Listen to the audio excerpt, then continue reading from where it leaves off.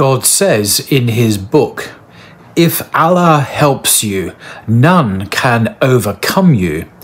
If he forsakes you, who is there after that that can help you? In Allah, then, let believers put their trust. Surah 3, verse 160.